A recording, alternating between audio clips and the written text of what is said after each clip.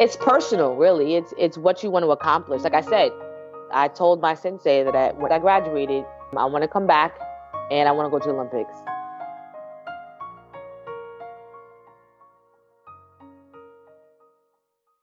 Welcome to Whistlekick Martial Arts Radio, episode 149, and thank you for joining us. On today's episode, we hear from world champion karate fighter and Olympic hopeful, Sensei Cheryl Murphy. At Whistlekick, we make the world's best sparring gear, and here on Martial Arts Radio, we bring you the best podcast on the traditional martial arts twice a week. Welcome. My name's Jeremy Lesniak, and I'm your host for the show, as well as the founder of Whistlekick Sparring Gear and Apparel. Thank you to the returning listeners, and welcome to those of you checking us out. I hope you enjoy your time here. You've likely heard me talk a lot about our sparring gear in the past, but how about the other stuff we have in the store? Lots of apparel, some accessories. So head on over there and check us out. See all the great stuff we've got, whistlekick.com. If you want the show notes, you can find those at whistlekickmartialartsradio.com. That's also the easiest place to sign up for our newsletter.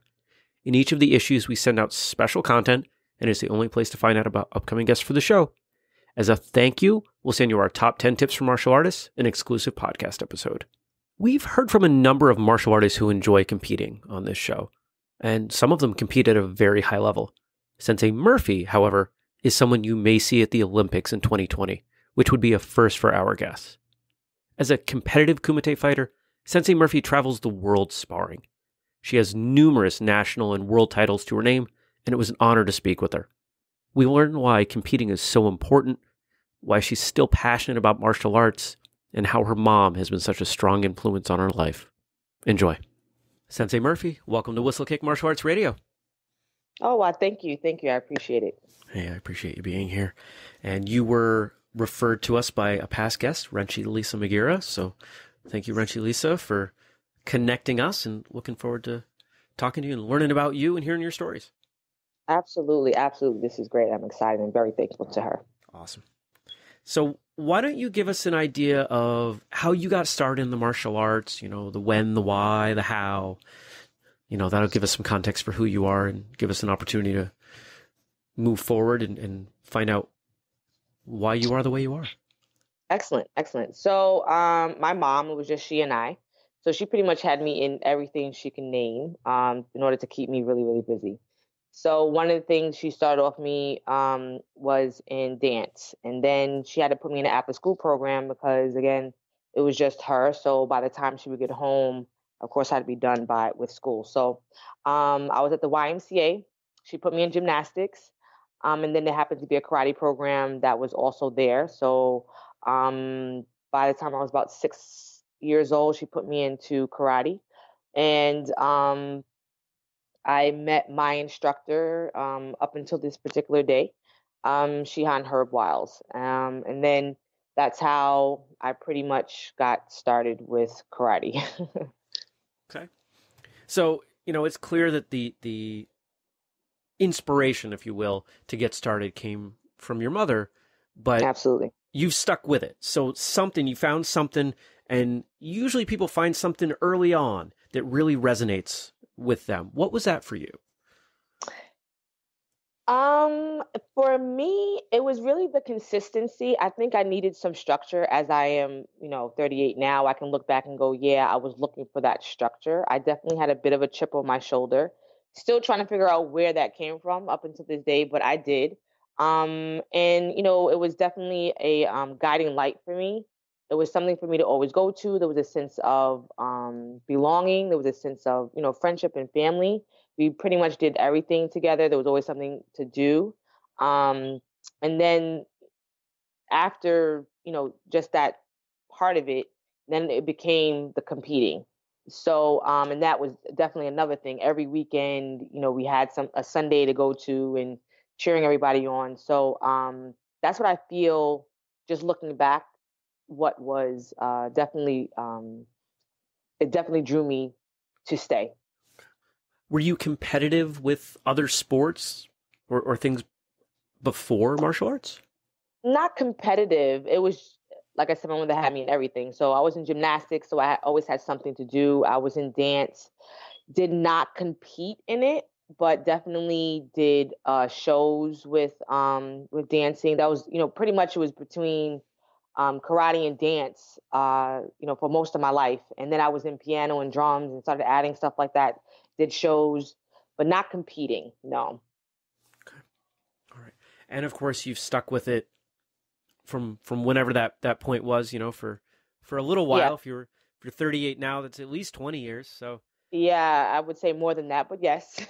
um, so 13 is when I first competed. Um, my sensei actually told me, he's like, just go, because I was very nervous, of course. Just go, try it out. You'll see, you know, and if you don't like it, then you don't do it. If you, you know, you like it, then you just, you know, you see it. But I have a feeling, speaking as him, I have a feeling you're going to go and you're going to say, I should have competed that day. And I hate to say that he was right. Uh, I was like, oh, I could do this, right? So ever since then, it's just been what I did and and and competed and you know did very well considering. Okay. So. All right, great. So that gives us some context, and we'll move forward. And I'm sure we'll we'll loop back around and talk some more about your upbringing as we okay. move through other questions and and hear your. Am stories. I answering it okay? Or absolutely, there oh, there is no wrong way to do this. right. Okay. it's not it's not a kata. If you want to start at the beginning, right. start I'm at the like, end, wait, right? Like there's right.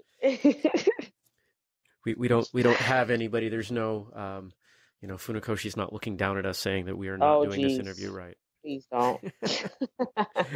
All right. Now, I know you've listened to at least one of the other episodes, and and past listeners know that you know I love stories, and that's really why we started this show. Why I started this show was because I just love hearing the stories that martial artists tell. Mm-hmm. You've been training for a while. I'm sure you've got a bunch of stories. If somebody was going to pin you down and say, "What's your best one?" What would that be? honest i mean i oof, there there there are too many. Um i have a story um just i mean just in the story i was explaining when my sensei you know told me that um uh, i would regret it. And i'm like yeah right. You know i'm like 13 years old you know i'm like yeah okay whatever. Um and then i'm like okay great and i have to tell my sensei that he's right and i definitely should have. Um there's a time where um, we were all going. this is a good one. Okay, so we we used to go on trips um, every year to a ski resort, and we would go skiing. That would be one of the trips that we would do as a as a school.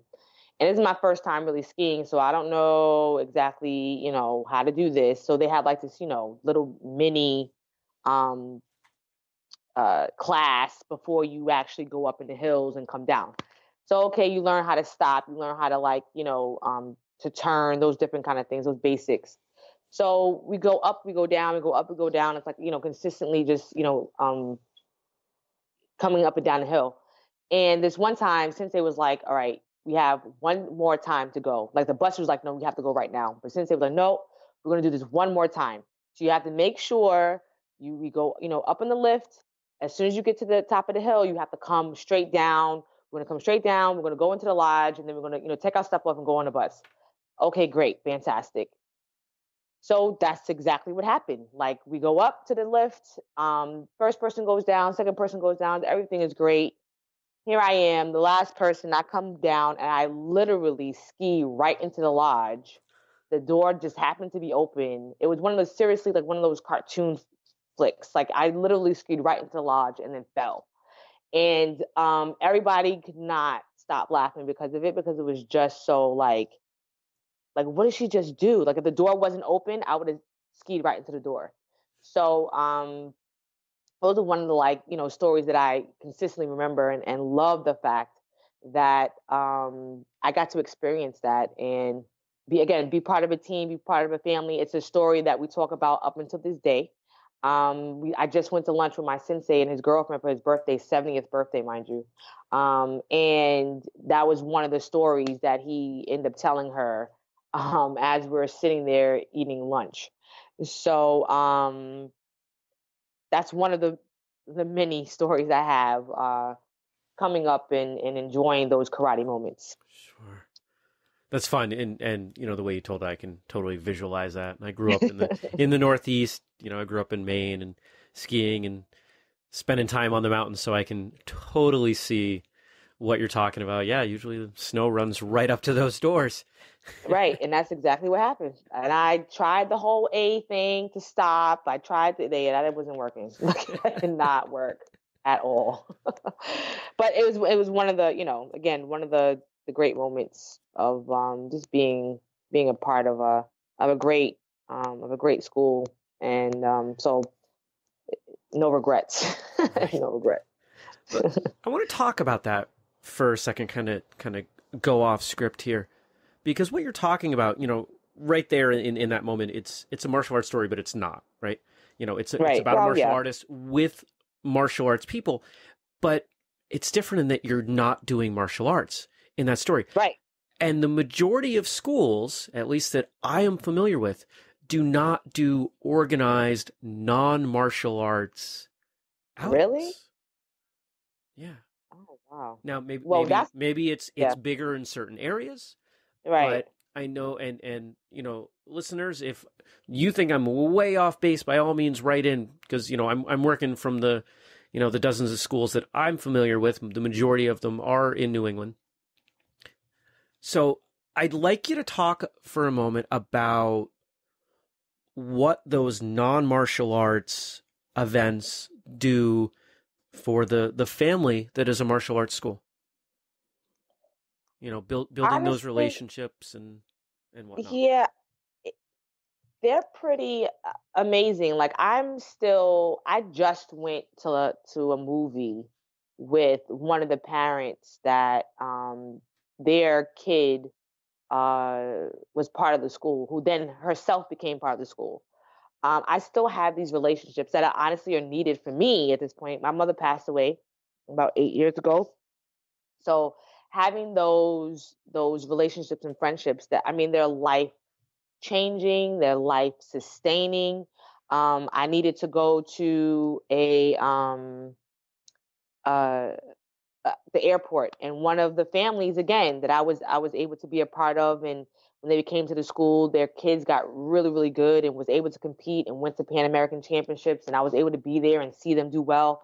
Like I I needed to you know to park by her you know her house and stay by her house so I can just get to the airport because it was so early.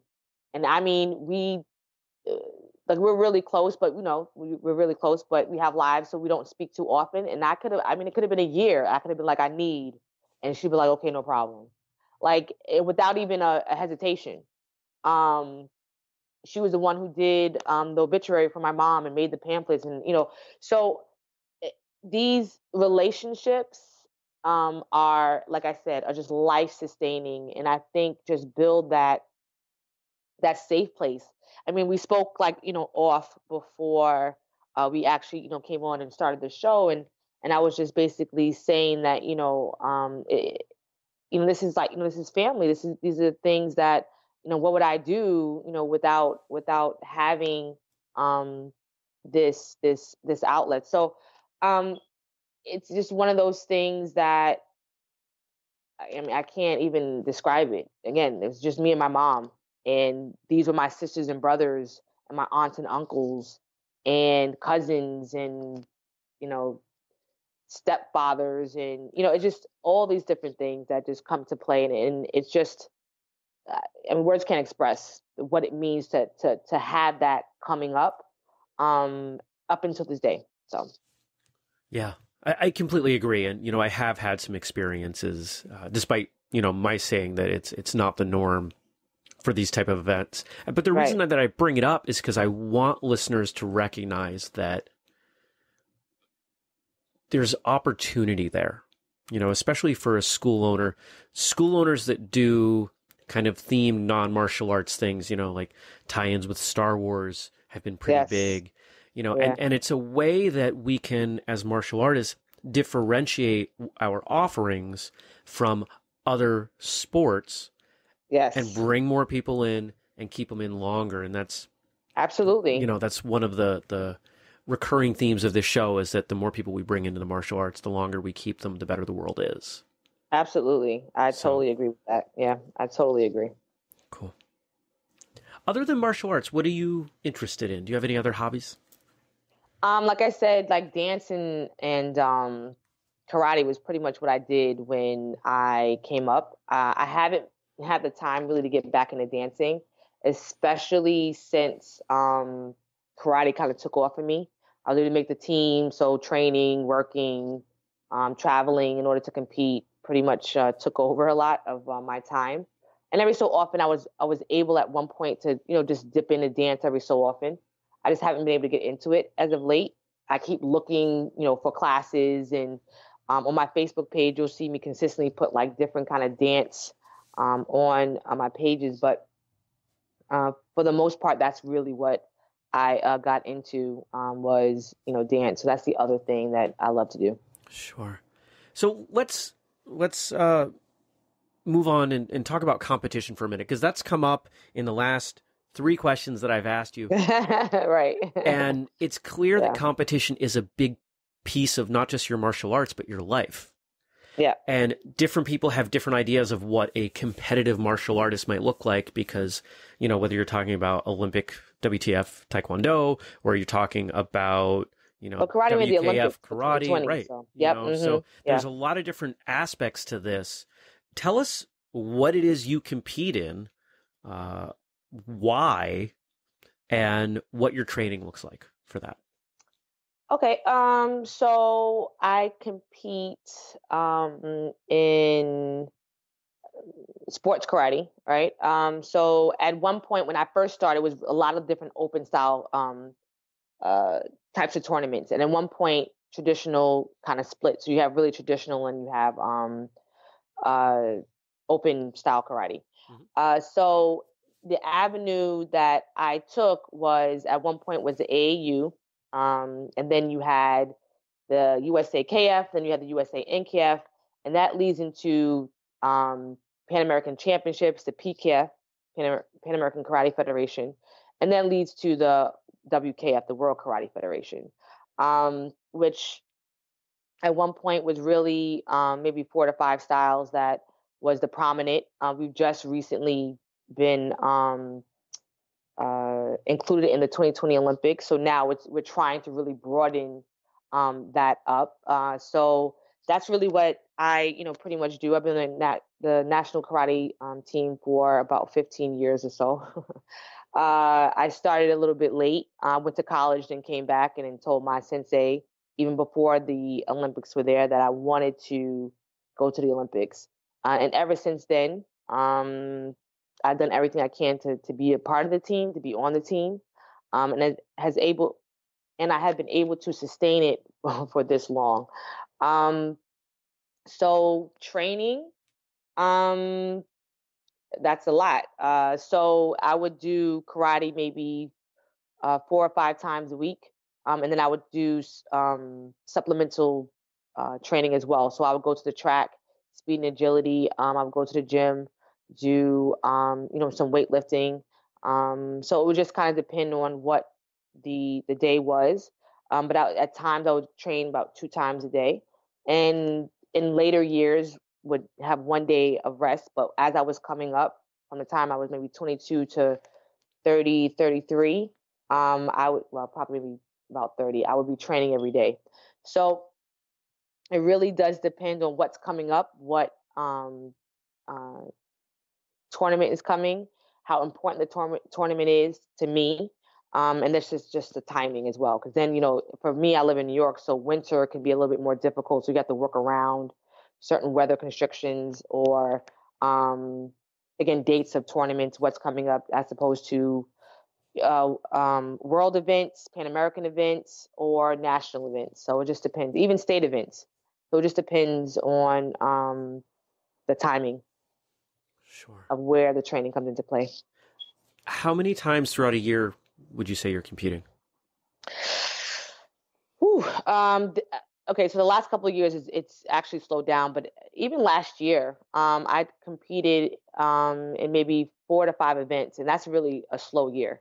Um, I've competed maybe eight, nine times, um, uh, maybe four times, four or five times state level, um, maybe three or four times national level, depending on if I was um, going to another state to to compete, and then it'd be maybe three times international. So it just depends on again what year it was, um, what events you know everybody was going to, what events we had to go to. Um, so it can it can really range from five to ten, if not more than that, if you really have the ability to, to travel like that. Yeah. So the big question: Why? I mean, this is this is Why? a big part of your life. It's a lot of no, time. It is. I mean, we're talking it is. It dozens is. of hours throughout a month, and money, and and unless you've you've uh, you know won the lottery or or somehow right. you know yeah, found found a pot of gold. I mean, we right. don't have the sponsorships. We don't, we don't have the money coming yeah. back out for for people to focus on this full time professionally. Yeah. So there, there's got to be a, there's got to be a big why in there. Yeah. It's personal really. It's it's what you want to accomplish. Like i said i told my sensei that I, when after after i graduated um, i want to come back and i want to go to the olympics. Um, and that was that was my main thing. Then i wanted to be national champion then i wanted to be pan american champion and i wanted to be world champion like and then those consistent goals and i wanted to do it again and then i wanted to oh i did it last year well i want to you know do it you know again if I can do it one the first time, and I can do it two, three, four more times. So it becomes a personal um, goal, a, a, personal drive um, that that I want to accomplish. Um, just like within, you know, if if you you know if you're working, um, if there are certain things you want to um, uh, you want to get to, um, you may be, you know, in, in my particular job right now, you have assistant director, you have managing director, you have center director, then you have ops manager, and then you and there's all these different things. So just depending on where you are, you have your own certain goals. Um, and those were mine. Um, I wanted to be the best. I wanted to be the absolute best. So um, that's what was my my drive, regardless of the struggle, regardless of what had to be um, sacrificed. It was just not even a choice, honestly. It was like, okay, what do I need to do in order for this to happen? Okay, what do I need to do in order for this to happen? Consistent questions of of of um, what the next goal was going to be. And that could be getting to a training. Um, if somebody I wanted to train with was two hours away, what do I need to do in order to get there? Um, if I had somebody who was training in another state, if I had to go to another country, what do I need to do in order for me to get there? What do I need to do in order for me to win at this tournament? What do I need to do in order for that not to happen again if I lost the last tournament? You know, so it's just always what is the next thing um, and what do I need to do in order to get there? So sure. So let's talk about the Olympics because you've mentioned yep. that a couple times, and and it sounds yeah. like that that's you know that's the big carrot that's driving you at this point. Am I right? I mean, yeah, I mean. I am is still in question about that. It's just, I'm 38 years old. Like again, life eh, tends to um, definitely take a toll on those questions of whether I can get there or is it worth it at this point.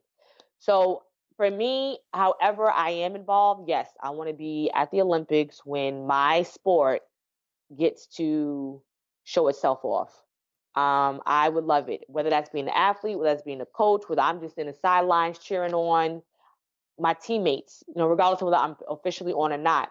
I want to be some somehow involved in in showing why my sport is the best um, and how we are athletes as as if any other athlete um, uh, who who also you know is promoted in in the Olympics. Right. So yeah, I think it's you know great. It's an exciting moment for karate. I think it's um, I mean just thinking I can't even you know put it into words. I'm just excited just to think about it.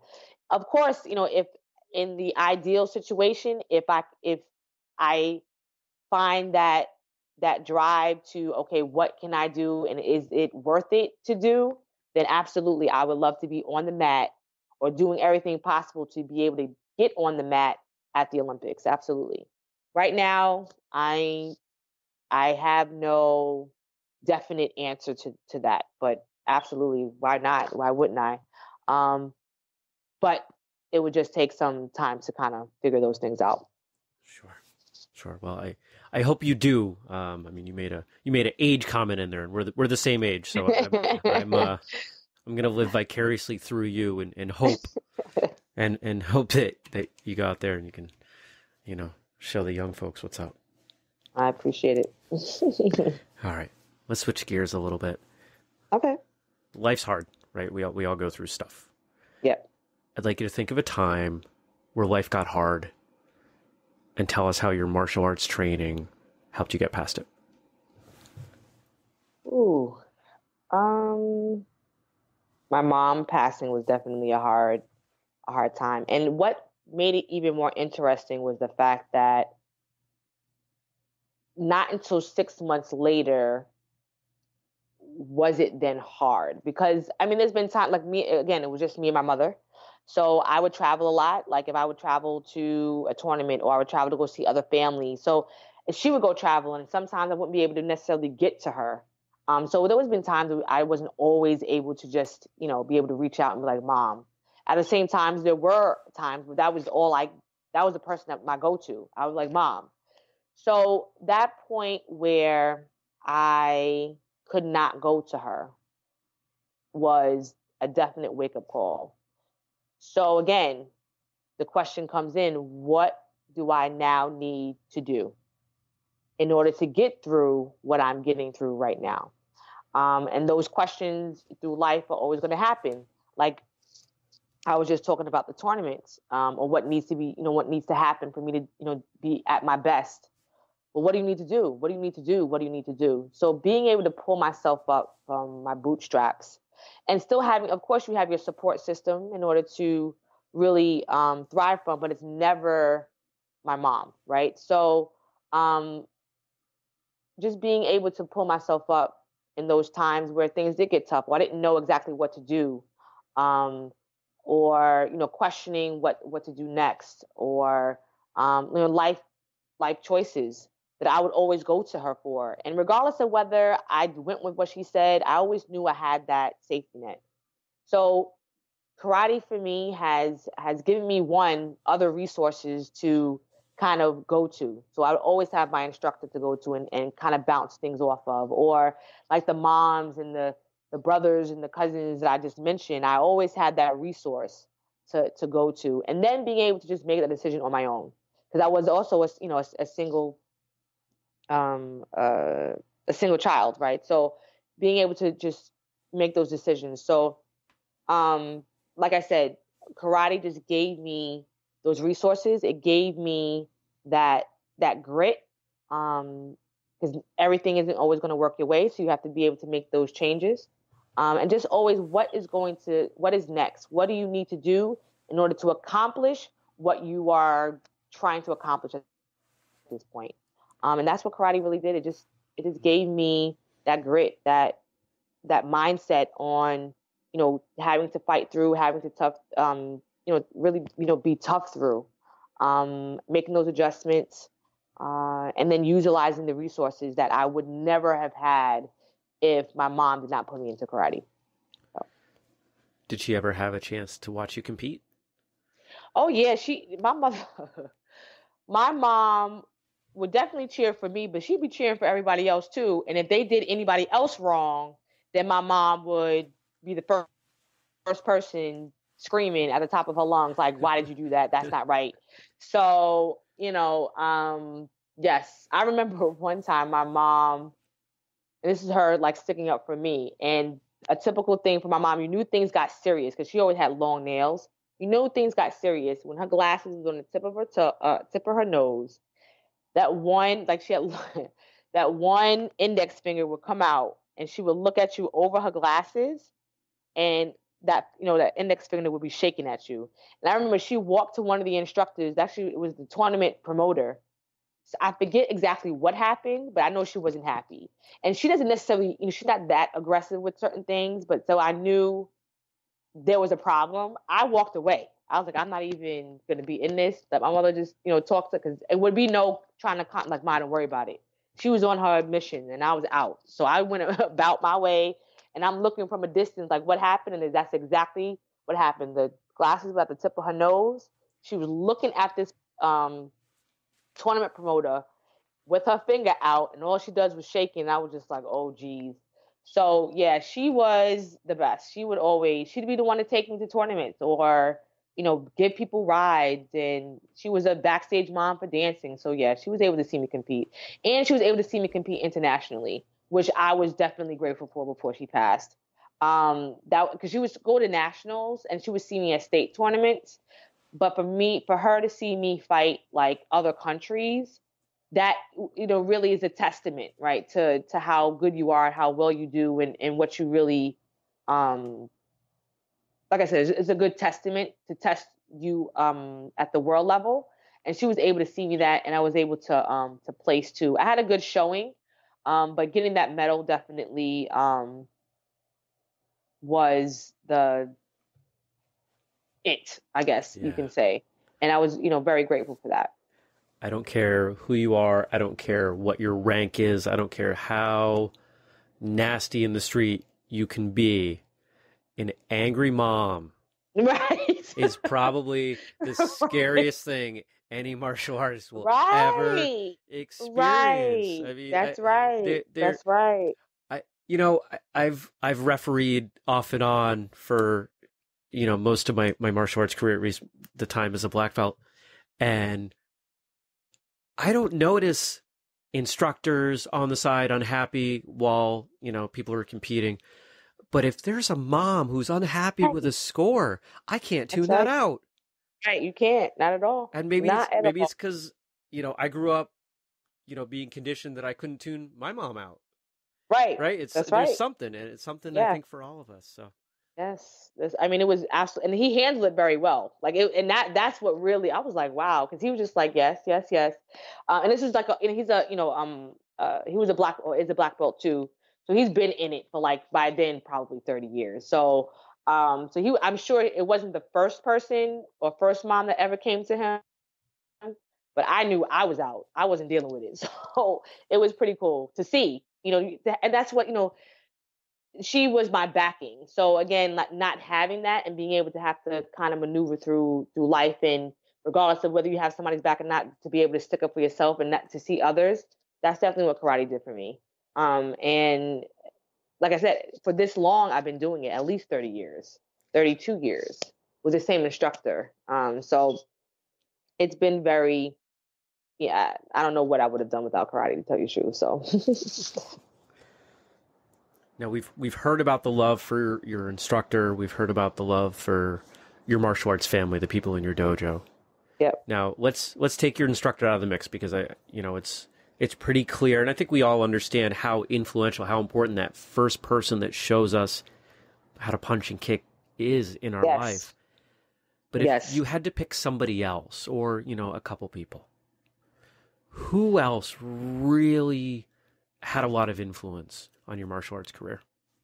Honestly, um, uh, I mean, there's been so many people who have who have been so influential, and and I know, and I and I said this to you before, I'm probably gonna get in trouble, but there's been specific people that have been consistent, haven't been in and out, wasn't in, you know, wasn't there for a time period, and then you know, for whatever reason, may have left um, or parted ways. But there's been consistency. Um, you know, besides again my my dojo, um, my dojo family, um, I've trained at. I mean, I can't even begin to tell you how many you know dojos I've trained with. But the people who have been consistent up until this day have been um, Sensei Baxter's dojo in Mount Vernon, and I would always train with Robert. Um, and he's been like, and I I'm pretty much annoying to him at this point. I know that, but I'm so grateful to him to, to take out the time because he works early. He he'll work out on his own, and then he'll come to the dojo and teach at the dojo, and he'll stay an extra hour or so after just so because of my schedule or the dojo schedule and I need to train, he's there. Um, and then I'll have and how I was able to meet um, the next two people was through them, and that's the Pinto brothers, and that's Antonio and Leo. Um, I with them, it was such a consistency, and that's when it was consistent when I was winning. Um, so so grateful to them as well. Um, I've been to other dojos, Edwin, um, I've been able to train with. I mean, there's so many people. I can't even. um, you know, Sensei Guerrero too has definitely helped me out as well. But like I said, at the very beginning, from when I came to after college, um, and then the people who really stay consistent throughout were those people that I just mentioned. Um, so I'm, you know, extremely grateful to them and for them. Um, and really wouldn't have been able to accomplish a lot of um, what I've been able to accomplish. And there's been ups and downs. We haven't always agreed. We haven't always been on the same page. But when things kind of died down and I would go to them, I'm like, I really need, um, you know, to train. Um, and then they would be like, okay, let's go. What do you want to accomplish? That's the same thing. What do you want to accomplish? What needs to happen in order for us to get there? Okay, let's do it. Yeah. Um, so that it's been very, very grateful. Very grateful for them. Awesome. Now, if you could train with someone that you haven't yet, and and we'll open it uh, up. You know, anybody from history too. You know, even if they've passed on, who would you right. want to train with and why? Um, and that's that's an interesting question because I honestly, like I said, I've been blessed to have been to have trained with the best. Um, I mean, we have world champions um, in the United States that I've been able to to train with. I've been able to train with uh, so many athletes across the world that I never would have thought. I mean, again, world champions that I, you know, have aspired to be with. Who I have not really been able to train with is the um, the French team. I have not been able to really get through their their um, their coaches. Um, I would I would love to just be able to pick their brain. Um, uh, and I know one in particular. I I can't how they how they work, how they um, produce, what they their relationships with their with their um, with their team is just as um, is just is just familiar because I went to the with the Egyptians and I consistently use the Egyptian team and how they work and how they produce consistently when I speak to people as to what I feel USA should, needs to strive for. Um, and I see this the same thing in again the the outcome. So just how the the coaches relate to their athletes, how the athletes relate to the coaches, um, and then and you know the the training that you see you see things on YouTube and, and Facebook, and of course that does not give it um, the reality of what is just to be in that moment. So just to see how how they really relate and what they do. Um, I mean, everybody can kick, everybody can punch, everybody can you know do sweeps and takedowns, and but how they get across to their athletes to then produce what they just were able to to practice. I would love to see um, how that is actually um, brought about. Uh, I just like how they how they present uh, uh, present themselves. I like um, how uh, they work. Um, and it would just be an honor. Um, specifically, uh, Boudre, uh, sorry, Baudry. Um, I, I, actually was able to to meet with him. There was a Goodwill Games that USA got invited to, and I was able to compete for the Goodwill. I saw him compete as well, and I'm like, oh, you know, I always thought he was a great fighter, but then now to see him as as as he's coaching, and again, seeing how the athletes respond to him, seeing how the athletes um, uh, produce. And it's not always a win. You know, it really isn't. It's not even so much winning or even getting the medal, even though, of course, the end result is that of, of anybody who's really competing. But it's it's what they do on the mat and how they do the to do it on the mat. Their energy. Um, I would love to go and just be around that. That would be um, amazing. Right on. Let's talk about movies. Are you a fan oh. of martial arts movies? let me tell you, I am pretty. I am pretty. Uh, yeah, especially '80s. Like, and it just it just came up with um okay. Sho'nuff and Bruce Leroy. Um, uh, of course, now as it I am thinking about it, I cannot remember the name of the movie. It had shown up at Bruce Leroy. Um, The Last Dragon. Last Dragon. Thank you very Time much. At and yes, and he's been you, on the show. You, thank you. I had, the, oh, I had the so chance jealous. to talk to him. Yeah, yeah. I'll drop the link in the show notes. Probably a good uh. time to mention. Uh, if you're new to the show, if this is your first time listening, we have show notes over at whistlekickmartialartsradio.com. And so, you know, when we talk about things that would make sense to, you know, show you a web page of, we drop all the links in there so you can check that out. Yeah, I forget what episode awesome. it was, but uh, really, really fun guy. Nice guy. Yeah, I would. And I actually got to see him at a tournament. He was refereeing, and I just like for some reason I think we were supposed to be in that ring, and then we were moved, and I was like, oh. no, yeah.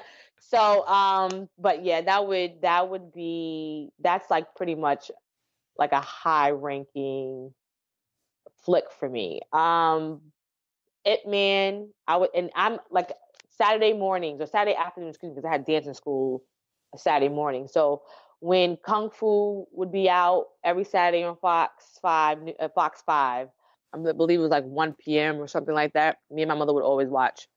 So definitely hooked on that. All the 80s films, whether it was Jeff Speakman, Steven Seagal, Van Damme, um, even um, Karate Kid. Excuse me.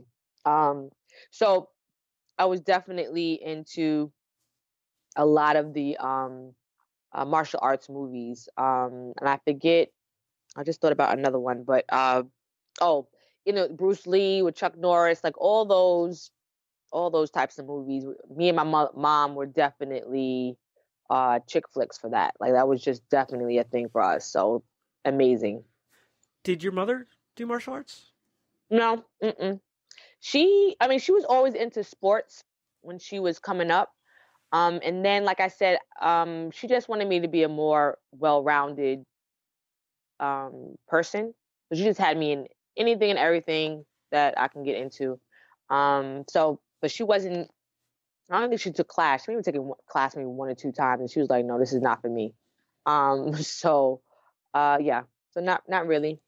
She lived vicariously through me. Yeah, yeah. I mean, I've I've known plenty of people that weren't interested in in martial arts, but you know, obviously with her ties to you and, and interest in the movies, that just surprised me a little bit. But right, exactly. But yeah, yeah, she was definitely, and she'd be the first person. Okay, let's go and watch. Oh, look, this is on. Like you know, so definitely.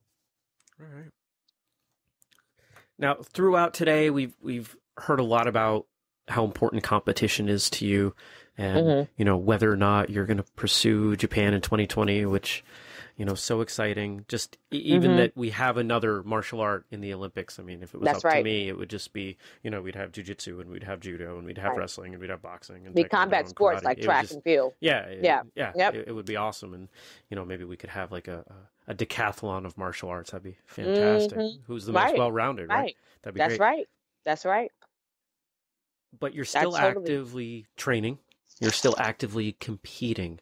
So there's got to be something out there. There's something that you're you're working towards, some kind of goal, something that's keeping you moving forward.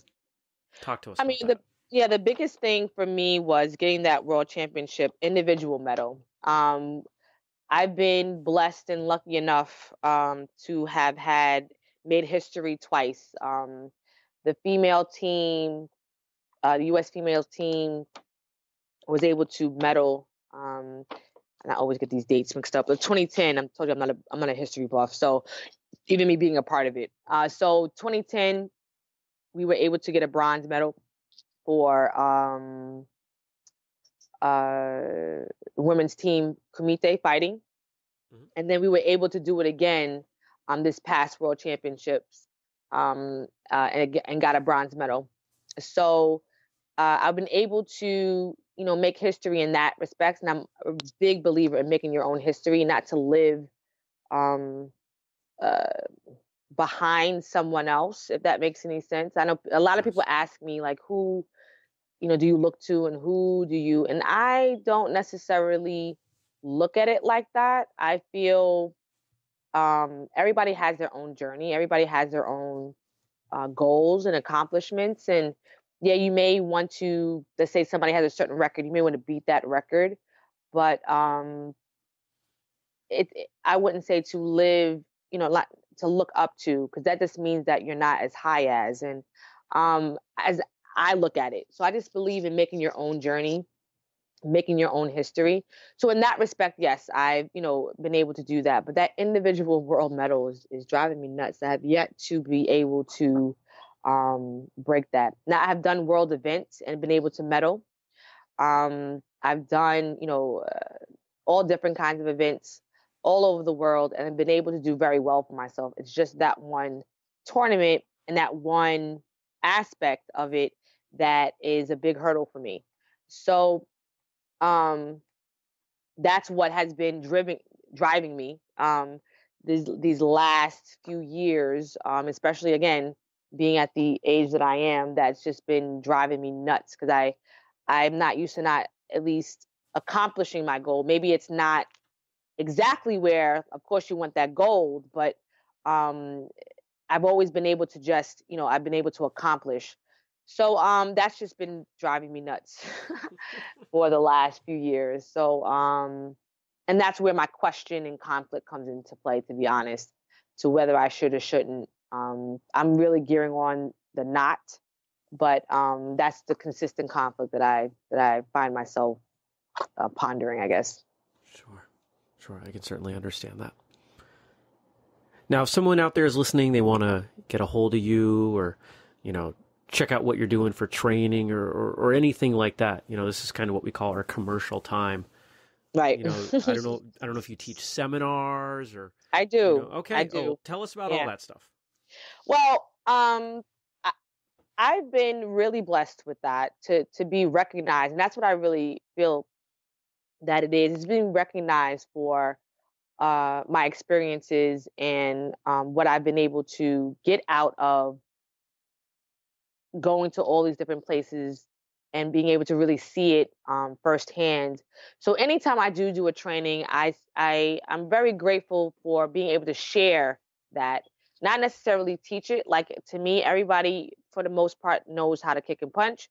You have kids that are coming up that have to make these adjustments in order to do it better. But for the most part, you know the basics, the foundation, especially if you're training at the higher level, you pretty much know how to do that. It's those experiences that you're really trying to get a um a feel for, and me being able to do that um and give that and share that because, like I said, I if not for the village that has um been able to help me um get to where I want to be, be put me in a position to where I can make the decision to, okay, I'm going to go here to compete. I'm going to go there to train. Um, I, I really would not have been able to accomplish it. So I, I really believe in paying it forward.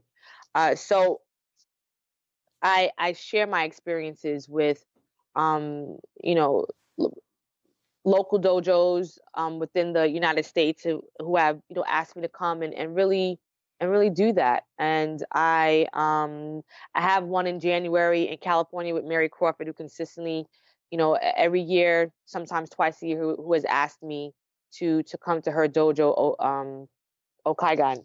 Um, my first um experience, um, somebody asking me was DC Sensei Williams. I mean, I mean, it was the first person who was like, "You're you're you have something." you're you know what? You come to my dojo and i'm going to um pay you for your knowledge. Um and i'm like what? Like it just you know it was just totally weird to me. And i'm like you really? You want me to come to your dojo and really you know show your kids what i know? Like i know stuff? And um he's like absolutely share that um and then for me to go to um you know chicago and i consistently am going to chicago um, and that's one person, that's one group I forgot to to really mention, um, and was able to you know train with them and and be with them and not necessarily teach, but just be able to just feed feed off of each other. Um, I mean, there's been so many dojos that have been able to ask me to go. Um, I've gone to Texas. I'm, I'm planning on going to Texas again in, in Killeen, Texas with Shihan Jackson. Um, I've gone to Atlanta. I've gone to um, I mean, I, I can't. Um, Brian Hobson's dojo in in Virginia. Um, I've just been blessed to be asked, but the the ones that are going to be most recent are going to be Mary um, Crawford's um, dojo in San Francisco in January, the first weekend in January. Uh, I'll be there. All right. I'm not quite sure if this is going to get out before then, but oh, I that's the fine. takeaway is that you offer seminars. Now, if somebody wants to talk to you about having one at their school, how would they get a hold of you? Uh, you can call me. Um, I'm pretty um, open and, and grateful for those who feel like, um, you know, they want to hear what my experience is. Uh, you can call me at 718 6. I keep giving my work number, sorry. 718 926 2468. Um, my email is um, smurfy1017 at uh, gmail.com. So it's Murphy 1017. I'm also on Facebook. I have an athletes page, Cheryl Murphy. And I also have um, my regular page, Cheryl K. Murphy. Um, and you can find me um, on there. And if you wanted to go to find, um, you know, who I am and, you know, what I do and uh, um, the experiences that I've had, you can go to YouTube and put in Cheryl Murphy Karate. Um, and you'll see a lot of my fights on there as well, just to get a, a feel of um, what I have to offer. Um, and you know, that's that's pretty much it. Okay, great. How about some parting words of wisdom for the people listening? Parting words of wisdom. Um, I would say, you know, one, with anything that you do, it is your journey. Um, and to, you know, make your own history. Um, I think it's really, really important that you set your own goals. Um, definitely, you know, use people's other people's experiences and advice, and you can kind of hear what they went through and maybe the same situation. But when it all comes down to it, it's your journey, it's your decision, it's what you want to do, and you want to have any regrets in what you're doing. Um, so if that's opening up a dojo, if that is um, going to compete at 70 years old, like my sensei does, if it's, um, and I'm like freaking out myself, but if it's, um, let's say we're the same age, if you decided to want to go to, um, wanted to go and try to try out for the Olympics, then why not? Um, and I say that kind of talking to myself as well. But um, you know, I, I just feel like it's your journey, it's your decision, it's and you don't want to be in a position of regret. So however long it may take um, to get to where you want to go, it's only time, and um, let's you know live it to the to the best. Um, and I think that that with anything of what whether it's karate, whether it's life, that's definitely something to just to strive for and live by. It's hard not to feel revved up when you hear Sensei Murphy speak. I've had the chance to see some of her sparring videos, and I really hope you checked them out. She's every bit as energetic in her sparring as she was here today. Thank you, Sensei Murphy, for your time on the show. Over at whistlekickmartialartsradio.com, you can find the show notes with links to Sensei Murphy's social media links, her profile on the USA Olympic page, and a lot more. You can follow us on social media. We're on Facebook, Twitter, Pinterest, YouTube, and Instagram and our username is, you guessed it, Whistlekick. You should also check out our Facebook group, Whistlekick Martial Arts Radio Behind the Scenes. We're always open to new guests for the show, so if you want to come on or recommend somebody else, maybe your instructor, someone you know that has some great stories, head to the website, whistlekickmartialartsradio.com. You're probably noticing a pattern here. That's your hub for everything about this show. If you have any feedback, there's a place over there to submit that as well. If you like the show, make sure you're subscribing in whatever podcast app you use. If you're up for giving something back, maybe sharing the show with a friend, leaving us a review, signing up for the newsletter, getting in on that Facebook group, you could like us on Facebook, you could make a purchase. You know, there's a lot of ways to help us out, help keep this show going, help keep Whistlekick going. You know, really it's it's all about growing the martial arts community and giving something back and, and building some synergy among all of us. And if you've been listening to the show for a while, you know how important that is to me personally. Make sure you visit whistlekick.com before the next episode. That's actually going to be your homework, right? Check out everything we've got going there. If you're a school owner or a team coach, we've got wholesale.whistlekick.com with all of our sparring gear available at wholesale bulk prices. Until next time, train hard, smile, have a great day.